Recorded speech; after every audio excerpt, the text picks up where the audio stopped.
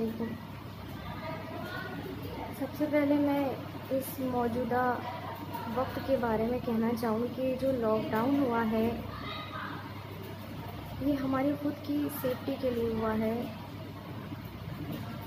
ये हमारी मजबूरी है कि हम अपने अपने घरों में हैं, अपने इबादत गाहों को छोड़े हुए हैं, अपने रिश्तेदारों, अपने अज़ीज़ व को छोड़े हुए हैं। तो ये एक हमारी मजबूरी है। हाँ कहीं ना कहीं तकलीफ़ होती है कि हम अपनों से दूर हैं। लेकिन ज़रा गौर करें कि वो दर्द, वो तकलीफ़ जो कई सालों से है, और ये दर्द, तकलीफ़ वक्त के साथ साथ बढ़ती जा रही है कि दुख्तर रसूल की कब्र पे कोई साया नहीं है, कोई चिराग रोशन करने वाला नहीं है उनकी कब्र पे।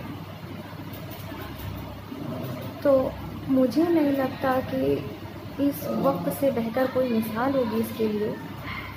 क्योंकि अगर कोई भी बीबी सैदा का चाहने वाला वहाँ जाता है ज़्यारत के लिए और हाय सैदा कह के रो देता है तो उसको कोड़े लगाए जाते हैं।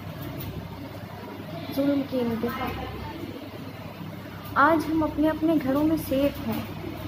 सिर्फ़ हम निकल नहीं सकते तो हमें इतनी तकलीफ़ हो रही है। हम किसी से मिल नहीं सकते।